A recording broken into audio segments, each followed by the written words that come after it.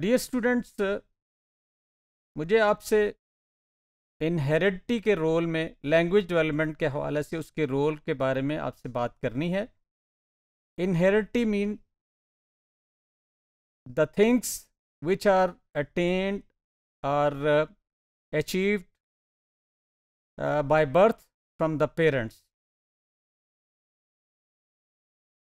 this inheritance plays an important role in the life of the child.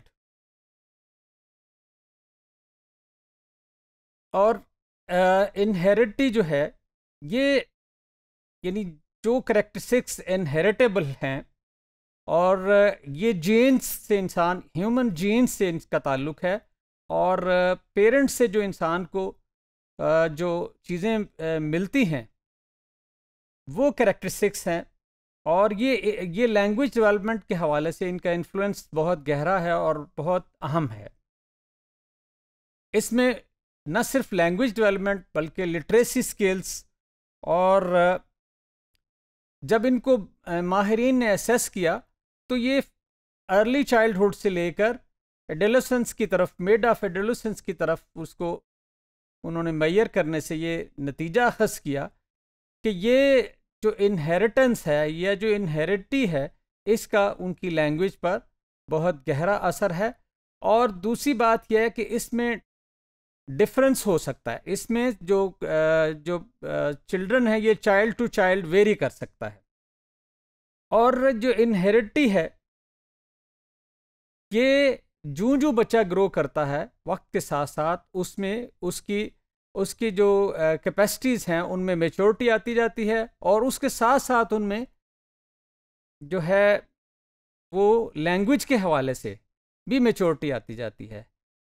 हम इससे पहले भी स्टडी कर चुके हैं कि सबसे पहले जो चूँकि ह्यूमन लैंग्वेज साउंड से स्टार्ट होती है और फिर साउंड्स के बाद वो वर्ड्स पे की सूरत इख्तियार करती है और इब्तदा में जूं जूं बच्चा उस एज में बढ़ता है तो वो साउंड से वर्ड्स की पर आता है और फिर वर्ड्स से, वो वर्ड्स भी जब वो फिर ये कि उसको जूं जूं मतलब जो जिस इन्वायरमेंट में वो रहता है, वो अपने पेरेंट्स और केयर गिवर्स के साथ उसका इंटरेक्शन होता है और वो उनको मतलब ये कि उनके साथ, वो उनको वर्ड्स के साथ ज़रिए उनको पुकारता है और और इसमें यह है कि साउंड की जो स्पीड है जो लैंग्वेज की स्पीड है जर जो अंडरस्टैंडिंग का लेवल है ये चाइल्ड टू चाइल्ड वेरी कर सकता है। जैसे इंटेलिजेंस है ये वालदा की तरफ़ से इनहेरिट होती है बच्चे को तो इसमें ये ये है कि आ, फिर इसी तरह अंडरस्टैंडिंग का जो लेवल है जो बच्चे वर्ड्स को वो चीज़ों को साउंड्स को वो अंडरस्टैंड करते हैं तो इनहेरिटेंस में उसका बहुत अहम रोल है उसके ज़रिए। यानी ये जीन्स उसमें अहम किरदार अदा करते हैं। इसमें स्टडीज़ भी एक्सक्लेम करती हैं कि ये इसमें क्लेम करती हैं कि that involve process of genetics innovation and amplification यानी उनमें ये है कि ये जो एक लैंग्वेज के हवाले से जूं जूं वर्ड्स में, उनमें इनोवेशन या नए अंदाज से वर्ड्स को अदा करना, या फिर उनको सेंटेंसेस की सूरत में अदा करना।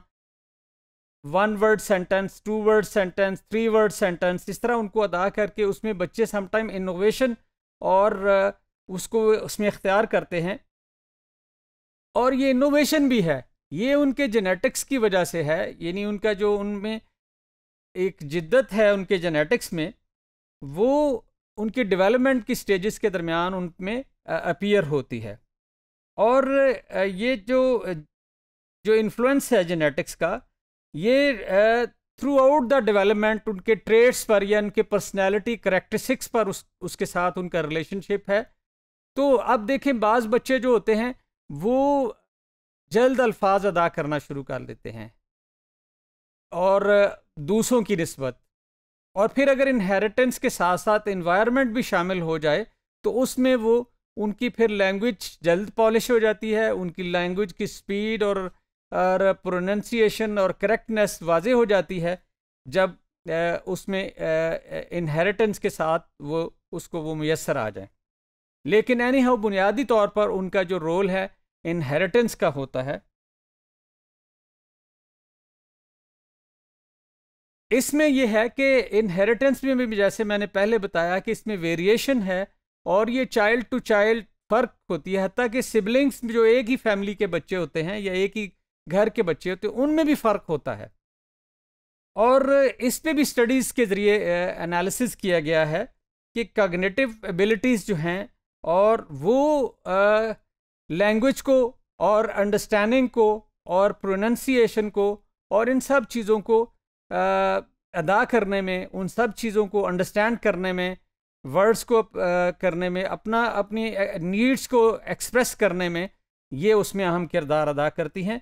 और ये इनमें ग्रेजुअल इजाफा होता है। From early childhood to mid of adolescence और वो, और फिर जूँ जूँ बच्चे की एज बढ़ती है, उसमें इनहेरिटेंस की वजह से वो उसकी लैंग्वेज ज़्यादा एक्सप्रेसिव होती जाती है और वो फिर अपने बात को बेहतर अंदाज में एक्सप्रेस कर सकता है।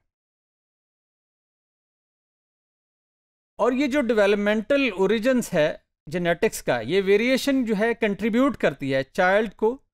किस से मैंने आपको बताया कि अर्ली चाइल्डहुड से लेके उसको मिडल जो उसकी एडोलोसेंस है यानी जूँ जूँ बच्चा एज में बड़ा होता है उसमें उसका। और आ, इसमें जो है उसमें भी उसका रोज़ कम या ज़्यादा हो सकता है।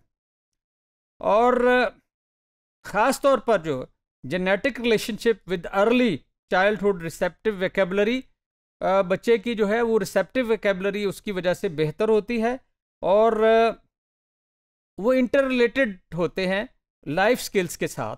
यानी उनकी कैगनेशन लैंग्वेज लाइफ स्किल्स ये सारी क्या हैं?